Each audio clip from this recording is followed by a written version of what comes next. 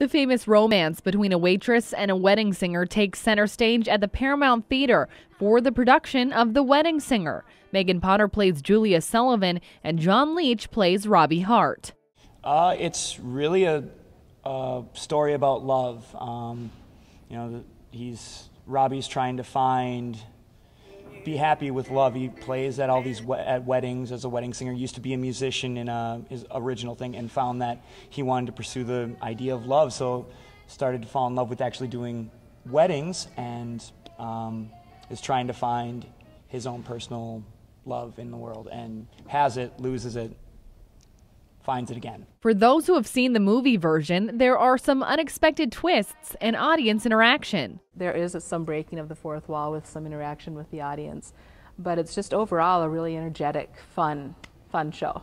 John says he can identify with his character in some ways. Maybe I was stupid to get engaged in the first place. I've definitely experienced some of the things that Robbie's gone through in the, in life, and it, it's re- it really just is interesting to see those parallels. And so, um, yeah, I can relate fairly well to it for the most part. Will you be right for me? Will I be right for you?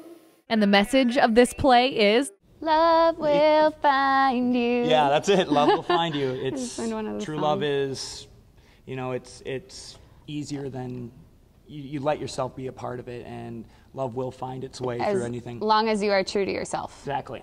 Be who you know you are, and that person will find you through it. True. reporting from St. Cloud, Ashley Gertis, WJON News.